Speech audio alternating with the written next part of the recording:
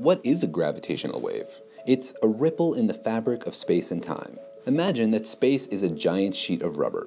Things that have mass cause that rubber sheet to bend, like a bowling ball on a trampoline.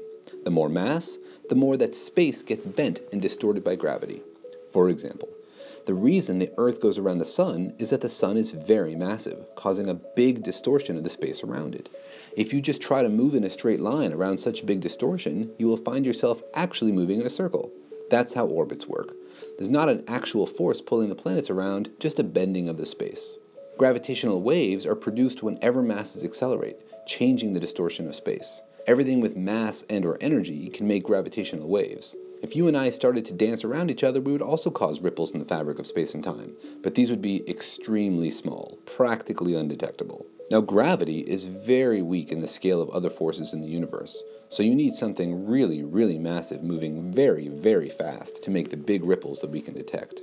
How would you observe a ripple in space? If the space between you and me stretched or compressed, we wouldn't notice it if we had made marks on our metaphorical rubber sheet, for example, using equally spaced rocks, because these marks would also get stretched further apart. But there is one ruler that doesn't get stretched, one made using the speed of light. If the space between two points gets stretched, then light will take longer to go from one point to the other and if the space gets squeezed, light takes less time to cross the two points. This is where the LIGO experiment comes in. It has four kilometer long tunnels and uses lasers to measure the changes in the distance between the ends of the tunnels. When a gravitational wave comes through, it stretches space in one direction and squeezes space in the other direction. By measuring the interference of the lasers as they bounce between the different points, physicists can measure very precisely whether the space in between has stretched or compressed and the precision needed is incredible. To detect a gravitational wave, you need to be able to tell when something changes in length by a few parts in 10 to the 23.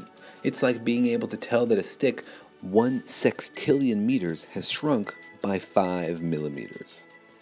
The effect of a gravitational wave is so minuscule and easily confused with random noise, you need a smart data analysis technique. Scientists hope to identify the patterns of gravitational waves by comparing the wiggles they measure in the experiment to the wiggles they expect from the gravitational waves. That's like trying to identify a song being hummed at a noisy party. A very, very noisy party. Imagine your whole life you had been deaf until one day your hearing was restored. You'd be able to explore the universe in this whole new way. That's why detecting gravitational waves is so significant. It's a completely new way of studying the universe. Anytime there's a new way to investigate the universe, we discover things we didn't expect.